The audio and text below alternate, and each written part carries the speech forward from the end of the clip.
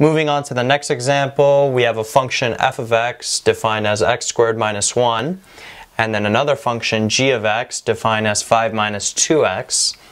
And we have to determine the values for m where f of 2m is equal to g of 5m.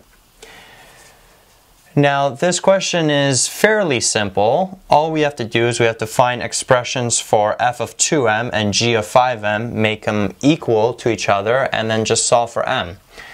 So f of 2m, we would just take this 2m and plug it in for the x in this function f of x. So we'd have 2m squared minus 1, right? So again, this 2m, we plugged in for this x value here. And then for the right side, we take 5m and plug it in for the x values for the function g of x. So we'd have 5 minus 2 times 5m. Again, we took this 5m and plugged it in for the x value in this function g of x. So simplifying this now, this 2m squared, we would take everything in the bracket and take it to the power of 2. So 2 squared is 4 and then m squared is just m squared minus 1 equals 5 minus 2 times 5m is negative 10m.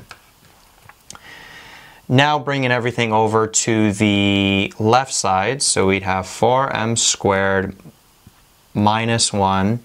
Bring the positive 5 over, that becomes negative 5. Bring the negative 10m over, and that becomes positive 10m and that's equal to 0. Notice how this negative 1 and negative 5, they are like terms.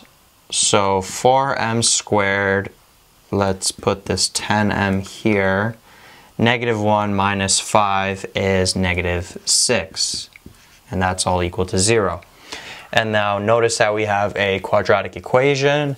So again, we can use the quadratic formula to solve for it, or we can factor it. And I think this factors smoothly, so we could take out a 2 from everything, so we'd be left with 2m squared plus 5m minus, sorry, this is minus 3 is equal to 0. And now factoring this here, this would be 2m um, minus 1 and then m plus 3 is equal to zero. You may want to go back and review factoring by decomposition to know how we got from this bracket to this bracket. It's from grade 10.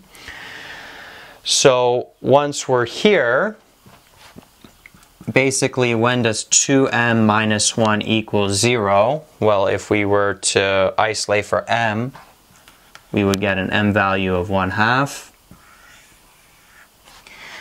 And here, when does m plus 3 equal 0? Well, basically when m is equal to negative 3. So these two answers here, this m equals 1 half and m is equal to negative 3 are our final answers for this question when f of 2m is equal to g of 5m.